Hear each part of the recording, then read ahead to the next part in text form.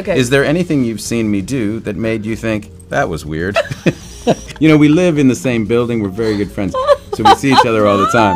We went on a holiday together with him and Lucy and me and John. Matt's lost his luggage. I remember us drinking so much wine. Ended with you in your beige pajamas from the plane, dancing on, know a, plane on an ottoman, and it was. I thought that was weird. Yeah, I, I wore plain airplane Pajamas. pajamas for like two days.